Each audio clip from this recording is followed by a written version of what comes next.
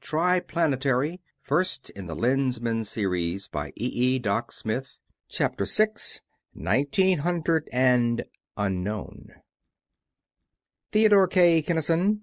A crisp, clear voice snapped from the speaker of an apparently cold, ordinary looking enough radio television set. A burly young man caught his breath sharply as he leaped to the instrument and pressed an inconspicuous button. Theodore K. Kinnison acknowledging. The plate remained dark, but he knew that he was being scanned. Operation Bullfinch, the speaker blatted. Kinnison gulped. Operation Bullfinch. Off, he managed to say. Off.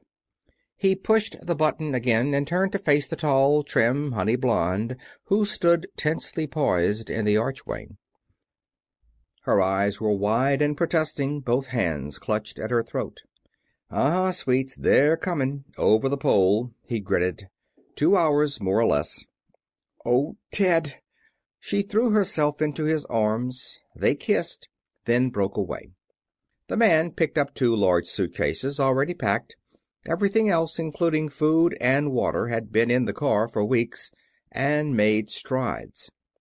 The girl rushed after him, not bothering even to close the door of the apartment, scooping up en passant a leggy boy of four and a chubby, curly haired girl of two or thereabouts. They ran across the lawn toward a big, low slung sedan. "Sure you got your caffeine tablets?" he demanded as they ran. "Uh huh." "You'll need 'em. Drive like the devil. Stay ahead. You can. This heap has got the legs of a centipede and you've got plenty of gas and oil. Eleven hundred miles from anywhere and a population of one tenth per square mile. You'll be safe there, if anybody is." "It isn't us I'm worried about. It's you," she panted. "Technos' wives get a few minutes' notice ahead of the H blast. I'll be ahead of the rush and I'll stay ahead. It's you, Ted. You." "Don't worry, Keed. That popsicle of mine has got legs, too, and there won't be so much traffic, the way I'm going." "Oh, blast, I didn't mean that, and you know it." They were at the car. While he jammed the two bags into an exactly fitting space she tossed the children into the front seat, slid lithely behind the wheel, and started the engine. "I know you didn't, sweetheart. I'll be back." He kissed her and the little girl, the while shaking hands with his son. "Kidlets, you and your mother are going out to visit Granddad Kinnison, like we told you all about. Lots of fun. I'll be along later. Now, Lady Leadfoot, scram and shovel on the coal." The heavy vehicle backed and swung, gravel flew as the accelerator pedal hit the floor. Kinnison galloped across the alley and opened the door of a small garage, revealing a long, squat motorcycle. Two deft passes of his hands and two of his three spotlights were no longer white; one flashed a brilliant purple, the other a searing blue. He dropped a perforated metal box into a hanger and flipped a switch. A peculiarly toned siren began its ululating shriek. He took the alley turn at the angle of forty five degrees, burned the pavement towards Diversey. The light was red. No matter. Everybody had stopped. That siren could be heard for miles. He barreled into the intersection, his step plate ground the concrete as he made a screaming left turn. A siren creeping up from behind. City tone, two red spots, city cop. So soon. Good. He cut his gun a trifle. The other bike came alongside. "Is this it?" the uniformed rider yelled, over the coughing thunder of the competing exhausts. "Yes," Kinnison yelled back. "Clear Diversey to the outer drive, and the drive south to Gary and north to Waukegan. Snap it up!" The white and black motorcycle slowed, shot over toward the curb. The officer reached for his microphone. Kinnison sped on. At Cicero Avenue, although he had a green light, traffic was so heavy that he had to slow down. At Pulaski two policemen waved him through a red. Beyond Sacramento nothing moved on wheels. Seventy, seventy five. He took the bridge at eighty, both wheels in the air for forty feet. Eighty five, ninety. That was about all he could do and keep the heap on so rough a road. Also, he did not have Diversey all to himself any more. Blue and purple flashing bikes were coming in from every side street. He slowed to a conservative fifty and went into close formation with the other riders. The H blast. The city wide warning for the planned and supposedly orderly evacuation of all Chicago sounded, but Kinnison did not hear it. Across the park, edging over to the left so that the boys going south would have room to make the turn even such riders as those need some room to make a turn at fifty miles an hour. Under the viaduct, biting brakes and squealing tires at that sharp, narrow right angle left turn, north on the wide, smooth drive. That highway was made for speed. So were those machines. Each rider, as he got into the flat, lay down along his tank, tucked his chin behind the crossbar, and twisted both throttles out against their stops. They were in a hurry. They had a long way to go, and if they did not get there in time to stop those transpolar atomic missiles, all hell would be out for noon. Why was all this necessary? This organization, this haste, this split second timing, this citywide exhibition of insane hippodrome riding? Why were not all these motorcycle racers stationed permanently at their posts, so as to be ready for any emergency? Because America, being a democracy, could not strike first, but had to wait wait in instant readiness until she was actually attacked. Because every good techno in America had his assigned place in some American defense plan, of which Operation Bullfinch was only one, because without the presence of those technos at their everyday jobs, all ordinary technological work in America would perforce have stopped. A branch road curved away to the right. Scarcely slowing down, Kinnison bulleted into the turn and through an open, heavily guarded gate. Here his mount and his lights were passwords enough. The real test would come later. He approached a towering structure of alloy, jammed on his brakes, stopped beside a soldier who, as soon as Kinnison jumped off, mounted the motorcycle and drove it away. Kinnison dashed up to an apparently blank wall, turned his back upon four commissioned officers holding cocked forty fives at the ready, and fitted his right eye into a cup. Unlike fingerprints, retinal patterns cannot be imitated, duplicated, or altered. Any impostor would have died instantly, without arrest or question. For every man who belonged aboard that rocket had been checked and tested. How he had been checked and tested! Since one spy in any one of those Technos' chairs could wreak damage untellable. The port snapped open. Kinnison climbed the ladder into the large but crowded operations room. "Hi, Teddy!" A yellow rose. "Hi, Walt! Hi, Red! What ho, Baldy!" And so on. These men were friends of old. "Where are they?" he demanded. "Is our stuff getting away? Let me take a peek at the ball." "I'll say it is. O.K., Ted, squeeze in here." He squeezed in. It was not a ball, but a hemisphere slightly oblate and centered approximately by the North Pole. A multitude of red dots moved slowly. A hundred miles upon that map was a small distance, northward over Canada. A closer packed, less numerous group of yellowish greens, already on the American side of the pole, was coming south. As had been expected, the Americans had more missiles than did the enemy. The other belief that America had more adequate defenses and better trained, more highly skilled defenders would soon be put to the test. A string of blue lights blazed across the continent. From Nome through Skagway and Wollaston and Churchill and Kaniapiskau to Belle Isle. America's first line of defense. Regulars all. Ambers almost blanketed those blues their combat rockets were already grabbing altitude. The second line, from Portland, Seattle, and Vancouver across to Halifax, also showed solid green, with some flashes of amber, part regulars, part National Guard. Chicago was in the third line, all National Guard, extending from San Francisco to New York. Green, alert and operating, so were the fourth, the fifth, and the sixth. Operation Bullfinch was clicking, on schedule to the second. A bell clanged. The men sprang to their stations and strapped down. Every chair was occupied. Combat rocket number 10685, full powered by the disintegrating nuclei of unstable isotopes, took off with a whooshing roar which even her thick walls could not mute. The Technos, crushed down into their form fitting cushions by three G's of acceleration, clenched their teeth and took it. Higher, faster! The rocket shivered and trembled as it hit the wall at the velocity of sound, but it did not pause. Higher, faster, higher! Fifty miles high, one hundred, five hundred, a thousand, fifteen hundred, two thousand!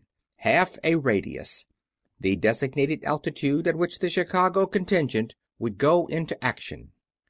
Acceleration was cut to zero. The Technos, breathing deeply in relief, donned peculiarly goggled helmets and set up their panels. Kinnison stared into his plate with everything he could put into his optic nerve. This was not like the ball, in which the lights were electronically placed, automatically controlled, clear, sharp, and steady. This was radar. A radar considerably different from that of 1948, of course, and greatly improved, but still pitifully inadequate in dealing with objects separated by hundreds of miles and traveling at velocities of thousands of miles per hour. Nor was this like the practice cruises, in which the targets had been harmless barrels or equally harmless dirigible rockets. This was the real thing. The targets today would be lethal objects indeed. Practice gunnery with only a place in the proficiency list at stake had been exciting enough. This was too exciting, much too exciting, for the keenness of brain and the quickness and steadiness of eye and of hand so soon to be required. A target? Or was it? Yes, three or four of them. Target 1, Zone 10. A quiet voice spoke into Kinnison's ear and one of the white specks upon his plate turned yellowish green. The same words, the same lights were heard and seen by the eleven other Technos of Sector A, of which Kinnison, by virtue of standing at the top of the combat rocket's proficiency list, was Sector Chief. He knew that the voice was that of Sector A's fire control officer, whose duty it was to determine from courses, velocities, and all other data to be had from ground and lofty observers, the order in which his sector's targets should be eliminated. And Sector A, an imaginary but sharply defined cone, was, in normal maneuvering, the hottest part of the sky. Fire Control's Zone 10 had informed him that the object was at extreme range and hence there would be plenty of time. Nevertheless Lawrence, two. Doyle, one. Drummond, stand by with three. He snapped at the first word. In the instant of hearing his name, each Techno stabbed down a series of studs and there flowed into his ears a rapid stream of figures, the up to the second data from every point of observation as to every element of motion of his target. He punched the figures into his calculator which would correct automatically for the motion of his own vessel, glanced once at the printed solution of the problem, tramped down upon a pedal once, twice, or three times, depending upon the number of projectiles he had been directed to handle. Kinnison had ordered Lawrence, a better shot than Doyle, to launch two torpedoes, neither of which at such long range was expected to strike its mark. His second, however, should come close so close that the instantaneous data sent back to both screens and to Kinnison's by the torpedo itself would make the target a sitting duck for Doyle, the less proficient follower. Drummond, Kinnison's number three, would not launch his missiles unless Doyle missed. Nor could both Drummond and Harper, Kinnison's number two, be out at once. One of the two had to be in at all times to take Kinnison's place in charge of the sector if the chief were ordered out. For while Kinnison could order either Harper or Drummond on target, he could not send himself. He could go out only when ordered to do so by fire control. Sector chiefs were reserved for emergency use only. Target 2, Zone 9, fire control said. Carney, two. French, one. Day, stand by with three," Kinnison ordered. "Damn it missed!" This from Doyle. "Buck fever, no end." "O.K., boy. That's why we're starting so soon. I'm shaking like a vibrator myself. We'll get over it." The point of light which represented Target One bulged slightly and went out. Drummond had connected and was back in. "Target Three, Zone Eight, Four Eight," Fire Control remarked. "Target Three, Higgins and Green. Harper, stand by. Four, Case and Santos. Lawrence." After a minute or two of actual combat, the Technos of Sector A began to steady down. Standby men were no longer required and were no longer assigned. "Target Forty, One Six," said Fire Control, and "Lawrence Two, Doyle Two," ordered Kinnison. This was routine enough, but in a moment "Ted!" Lawrence snapped. "Missed, wide, both barrels. Forty one's dodging, manned or directed, coming like hell. Watch it, Doyle. Watch it!" "Kinnison, take it!" Fire Control barked, voice now neither low nor steady, and without waiting to see whether Doyle would hit or miss. "It's in Zone Three already. Collision course. Harper, take over." Kinnison got the data, solved the equations, launched five torpedoes at fifty gravities of acceleration. One, two, three, four, five. The last three as close together as they could fly without setting off their proximity fuses. Communications and mathematics and the electronic brains of calculating machines had done all that they could do. The rest was up to human skill, to the perfection of coordination and the speed of reaction of human mind, nerve, and muscle.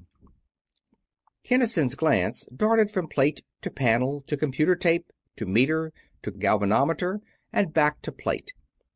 His left hand moved in tiny arcs the knobs whose rotations varied the intensities of two mutually perpendicular components of his torpedo's drives. He listened attentively to the reports of triangulation observers, now giving him data covering his own missiles as well as the target object. The fingers of his right hand punched almost constantly the keys of his computer. He corrected almost constantly his torpedo's course.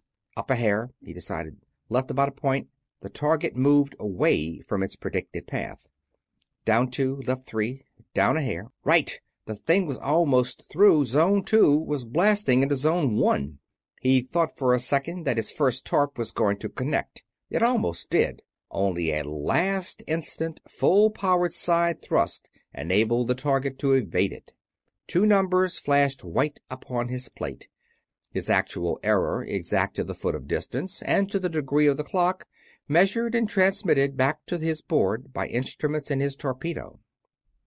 Working with instantaneous and exact data, and because the enemy had so little time in which to act, Kinnison's second projectile made a very near miss indeed.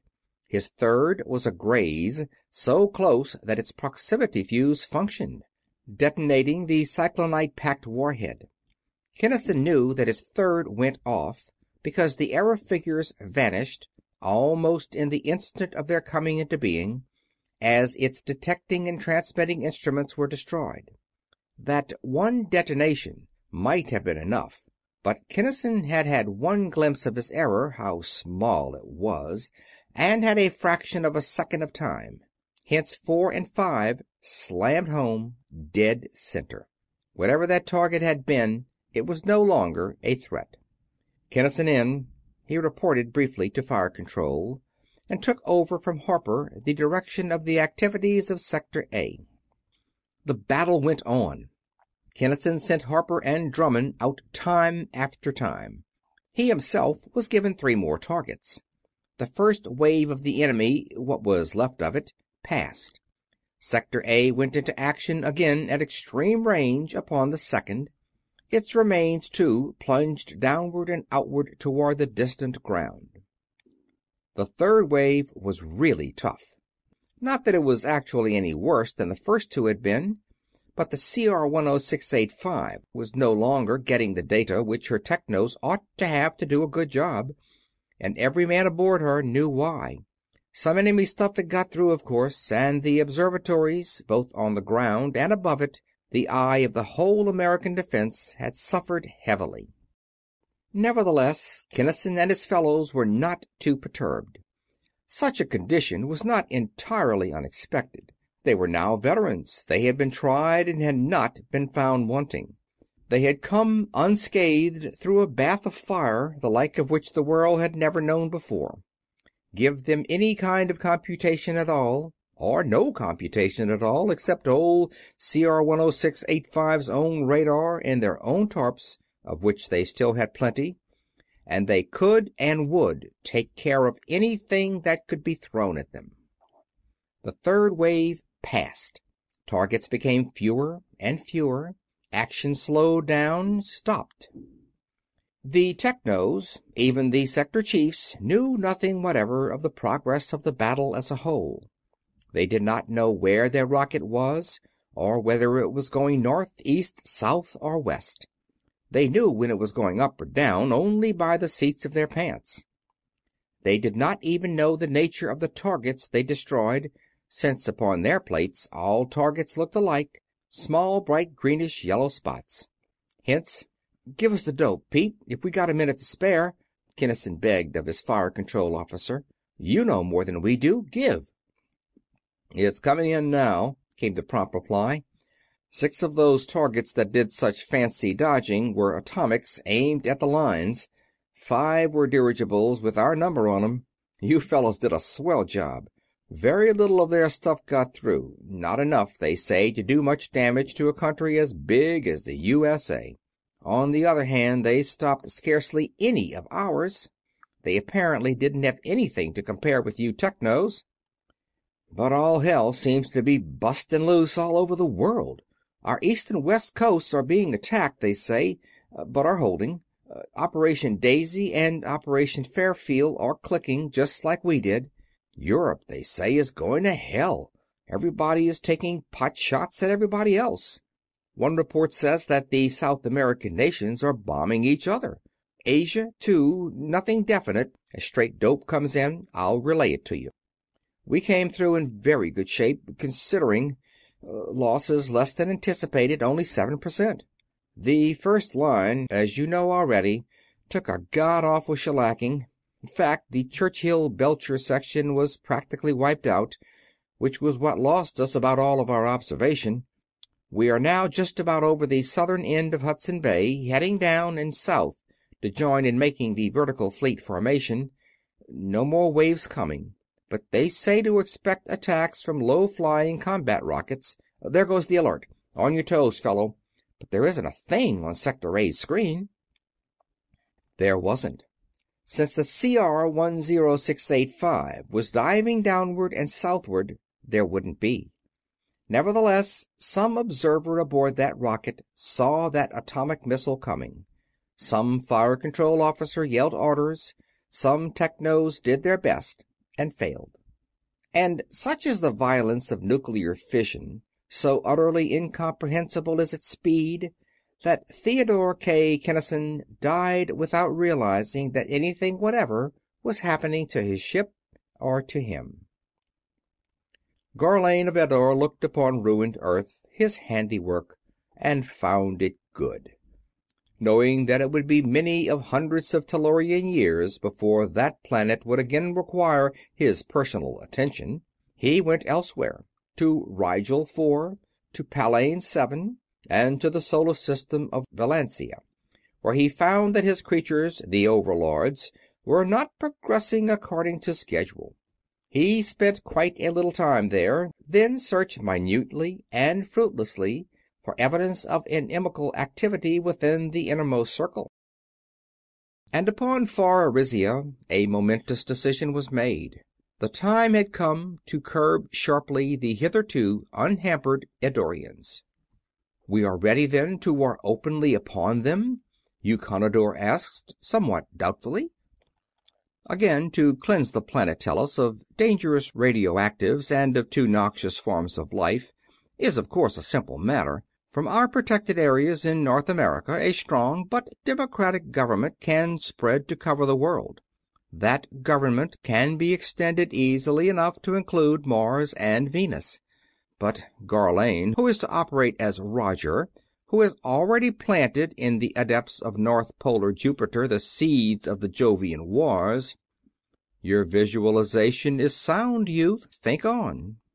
"Those interplanetary wars are of course inevitable, and will serve to strengthen and to unify the government of the inner planets, provided that Gharlane does not interfere oh, I see! Gharlane will not at first know, since a zone of compulsion will be held upon him.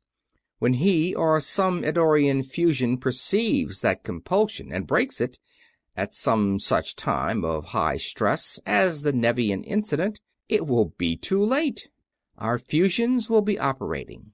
Roger will be allowed to perform only such acts as will be for Civilization's eventual good. Nevia was selected as prime operator because of its location in a small region of the galaxy which is almost devoid of solid iron, and because of its watery nature, its aquatic forms of life being precisely those in which the Eddorians are least interested. They will be given partial neutralization of inertia; they will be able to attain velocities a few times greater than that of light. That covers the situation, I think." "Very good, Eukonidor," the Elders approved.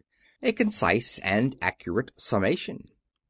Hundreds of Tellurian years passed. The aftermath, reconstruction, advancement.